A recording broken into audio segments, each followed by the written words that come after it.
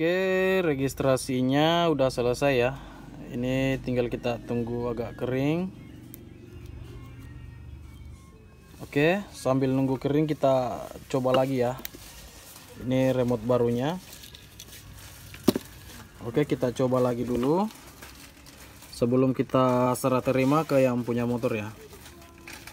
Oke, kita coba tes ya. Vario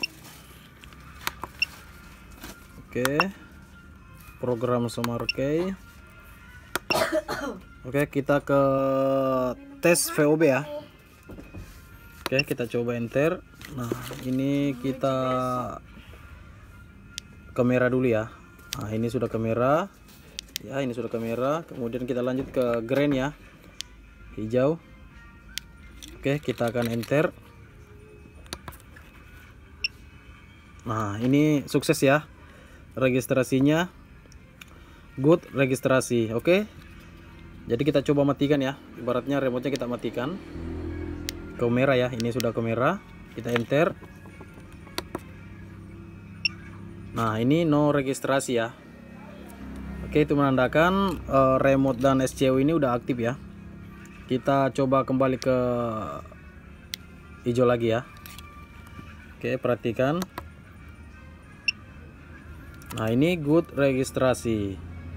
Oke sekali lagi kita ke merah. Nah no registrasi ya. Jadi kalau uh, remote-nya tetap di merah Ya dia tetap aja no registrasi ya Walaupun kita enter. Coba kita tes. Nah itu no registrasi ya. Nah oke. Okay. kita nyalakan. Di enter ah, good registrasi. Oke jadi sebelum kita serah terima kita pastikan dulu semuanya sehat ya. Jadi kawan-kawan yang kehilangan remote atau lupa tag ID nya bisa menghubungi kami ya. Saya akan taruh alamatnya atau nomor WA nya di kolom deskripsi.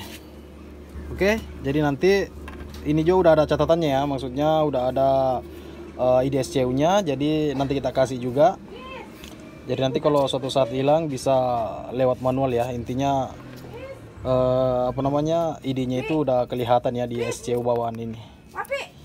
Oke jadi itu dulu video dari saya. Semoga bermanfaat. Oke kawan-kawan tidak lupa juga yang sudah subscribe terima kasih banyak.